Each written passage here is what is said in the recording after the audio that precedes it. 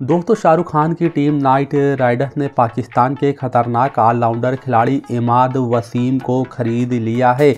जी हाँ दोस्तों, आप सभी लोगों को बता दें कि अब से करीब एक हफ़्ते के बाद यूएई में इंटरनेशनल लीग टी ट्वेंटी की शुरुआत होने वाली है।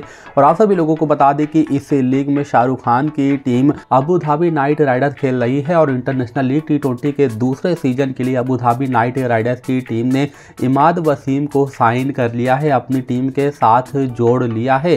जहाँ दोस्तों, आपको बता दें कि इमाद वसीम पाकिस्तान के बेहद खतरनाक ऑलराउंडर खिलाड़ी हैं और टी ट्वेंटी के ये काफ़ी माहिर खिलाड़ी माने जाते हैं, जिसमें दोस्तों आप सभी लोगों को बता दें कि इमाद वसीम ने छाछठ टी ट्वेंटी इंटरनेशनल मैचों की चौवालीस इनिंग में 131 के स्ट्राइक रेट से बल्लेबाजी करते हुए चार सौ छियासी रन बनाए हैं।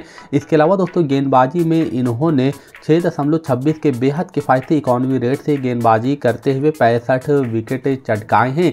तो दोस्तों, आप सभी लोग देख सकते हैं कि ये एक विकेट टेकर गेंदबाज हैं और मौका पड़ने पर ये ताबड़तोड़ बल्लेबाजी भी कर सकते हैं। ऐसे में अबूधाबी नाइट राइडर्स की टीम ने इंटरनेशनल लीग टी के दूसरे सीज़न में इस खिलाड़ी को खरीद कर काफ़ी बेहतरीन काम किया है।